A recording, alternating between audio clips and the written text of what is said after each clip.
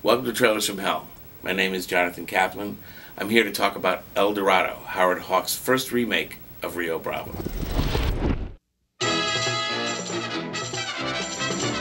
El Dorado was released in 1967. It got bad reviews, but it was a big hit. It was written by Leigh Brackett, who wrote also Rio Bravo, and you may know her from, uh, she wrote the first draft of The Empire Strikes Back.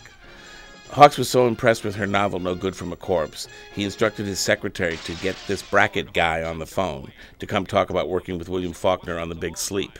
I met Howard Hawks on a weekend sponsored by the Directors Guild at a surf and turf hotel in Laguna. He came with his daughter Kitty and brought his personal prints of lots of his movies. Uh, when I asked him about El Dorado, one of my favorites, he said he just thought you should just keep remaking the same picture and you could make it as a drama and you could make it as a comedy. And he thought Rio Bravo was too serious, so he decided to remake it and make it as a comedy. Parallels are pretty obvious. I mean, he wasn't trying to hide it from anybody. James Caan is in El Dorado playing a character named Mississippi, he's the male ingenue, and Rick Nelson played that role in Rio Bravo named Colorado.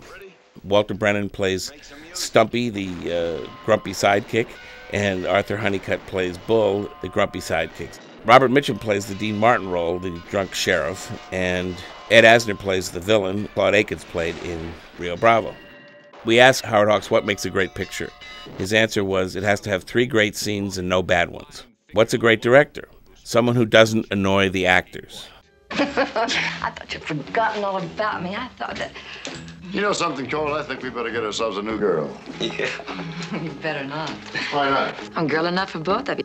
I directed The Accused, which was produced by Sherry Lansing, who is an actress in Rio Lobo, which was the third remake of Rio Bravo. I asked Sherry what it was like working with Hawks, and she said she really didn't know because he hated her so much he rewrote the script to put her character in jail and cut her part down to basically two scenes. Hold still, you're gonna lose your clothes. You keep that. I reckon you won't shoot any more little boys, mister. I first saw El Dorado on 42nd Street in New York. My first film teacher at NYU, a wonderful filmmaker named Harry Hurwitz, who made a picture called The Projectionist. He's probably best known for that. So Harry encountered a bunch of spoiled New York white kids going to film school to try to get out of the draft, and we were all talking about Chabrol and Godard and the French New Wave, and he said, you know, you guys need to see some American films. And he took us up to 42nd Street and we saw El Dorado. And it was one of the most enjoyable experiences I've ever had sitting in a movie theater. We all just laughed our asses off. And that was Harry's way of introducing us to great American cinema. And he really cured us of our snobism and our elitism.